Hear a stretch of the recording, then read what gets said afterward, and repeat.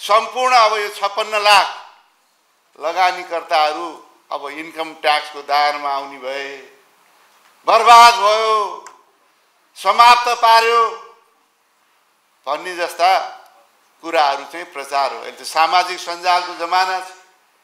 एउटाले लेखिदियो संसारभरि पुग्यो। सबको सबको हातमा स्मार्टफोन छ। लौ खत्तमै पारेछ कि क्या? हो स्वाटै घट्यो। हामीले स्पष्टीकरण दिउँ त्यस्तो हुँदै होइन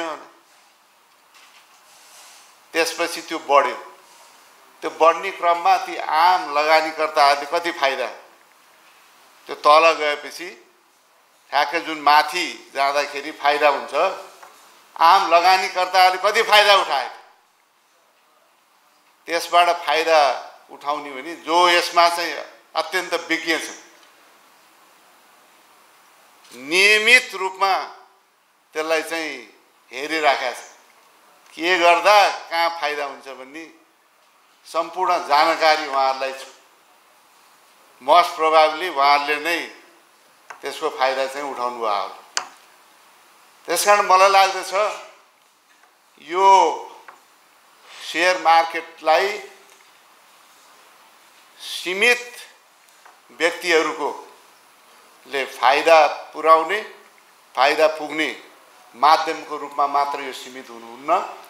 यो आम लगानीकर्ताको यो ब्याङ्कमा राख्दा यति आउँछ यहाँ राख्यो भने अलिकति फाइदा हुन्छ कि?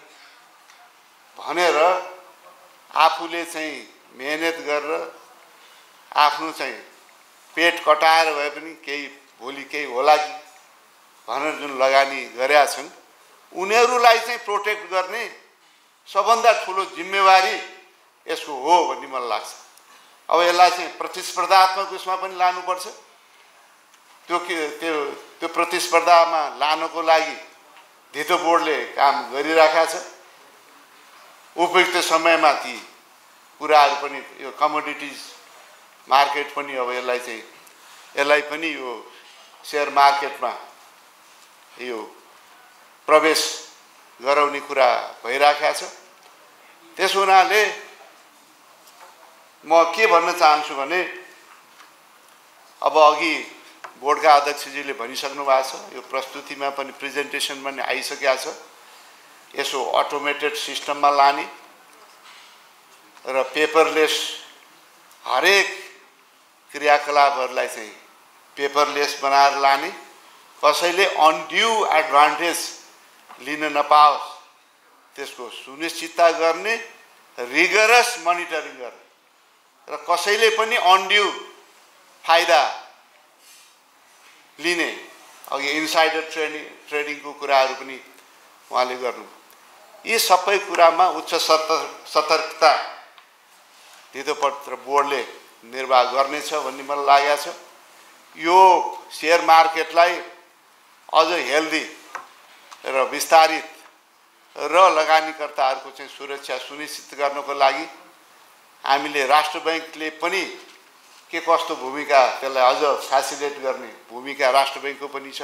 अघि हामीले भनेको हाम्रो चारवटा पिलर स्ट्राटेजी अन्तर्गत सुशासन र एकाउन्टेबिलिटी र राम्रो सेवाको वृद्धि र लागतको कमी आउने वातावरण सिर्जना गर्न हामीले खुला ब्रोकर प्रणालीलाई अगाडि बढाएर मेरिटोक्रेसीको सिद्धान्तलाई पूर्ण पालना गर्दै हामीले जुन यो पहिलोपल्ट नेपालमा लाइसेन्सिङ प्रक्रियामा निवेदकले होइन नियामक निकायले आफ्नो समय सीमा नियमनमै तोकेर त्यो समय सीमामा मापदण्ड पुग्ने सम्पूर्ण निवेदकहरूले न्याय पाउनुपर्ने सिद्धान्तलाई हामीले लागू गरिसकेका छौँ।